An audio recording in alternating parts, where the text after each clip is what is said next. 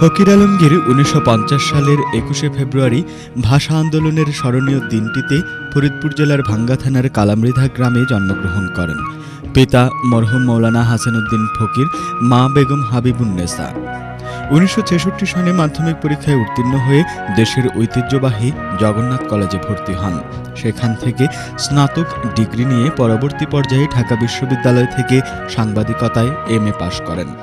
সুজন আর ঘাট রইয়াছে, নাই যে আগের ঠাট। সুজন বাইদার ঘাট রইয়াছে, নাই যে আগের ঠাট। আজও আছে এক তারায়ার নকশি কাথার মাঠ। আজও আছে এক তারায়ার নকশি কাথার মাঠ। দুজন বাইদার ঘাট রই আছে, নাই যে আগের ঠাট। আজ আছে এক তারায়ার নকশি কাঁথার মা আজ আছে এক তারায়ার নকশি কাঁথার মা ১৯৬৬ সনে ছাত্র ইউনিয়ন মেনন গ্রুপের সক্রিয় সদস্য হিসেবে সংগীত বলয়ে তার প্রবেশ। তারই ধারাবাহিকতায় ক্রান্তিশিল্পী গোষ্ঠী ও গণশিল্পী গোষ্ঠীর সদস্য হিসাবে ষাটের দশকে বিভিন্ন আন্দোলন সংগ্রামে এবং উনসত্তরের গণ অভ্যুত্থানে এক বিশেষ ভূমিকা পালন করেন।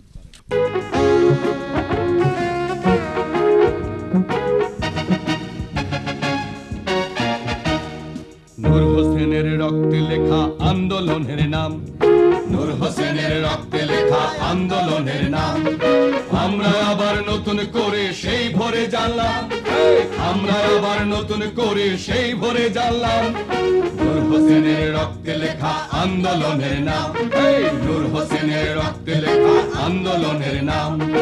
আমরা আবার নতুন করে সেই ভরে জানলাম আমরা আবার নতুন করে সেই ভরে জানলাম নূর হোসেনের রক্তে লেখা আন্দোলনের নাম। নূর হোসেনের রক্তে লেখা আন্দোলনের নাম। উনিশশো একাত্তরের মহান মুক্তিযুদ্ধে শিল্পী একজন শব্দ সৈনিক হিসেবে স্বাধীন বাংলা বেতার কেন্দ্রে যোগ দেন।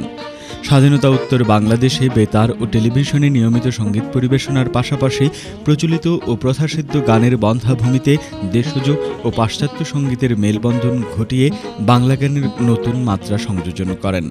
উনিশশো ছিয়াত্তরে গঠন করেন লোকপ্রিয় ঋষিজ শিল্পী গোষ্ঠী বাংলা, কারও দানে পাওয়া নয়। দাম দিয়ে কিনেছি বাংলা দাম দিছি প্রাণ লক্ষ কোটি জানায় আছে জগৎময় দাম দিয়ে কি নেছি বাংলা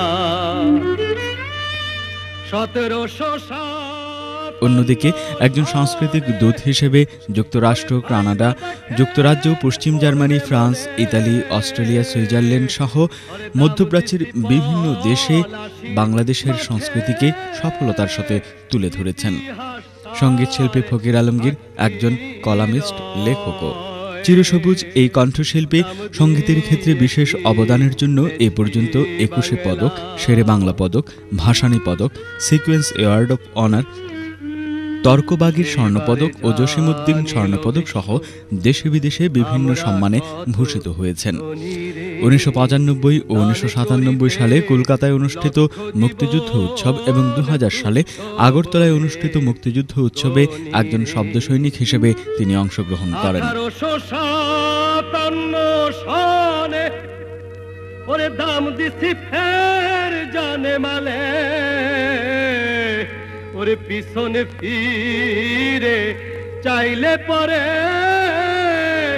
একশো বছর কথা কয়।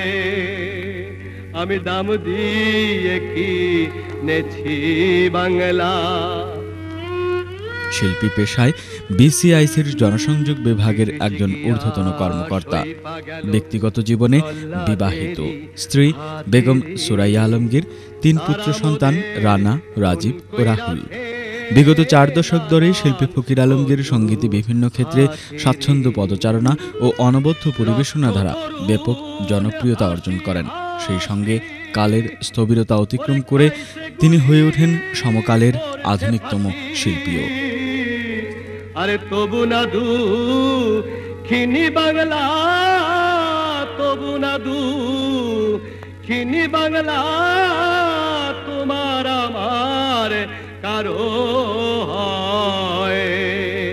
আমি দাম দিয়ে কিনেছি বাংলা।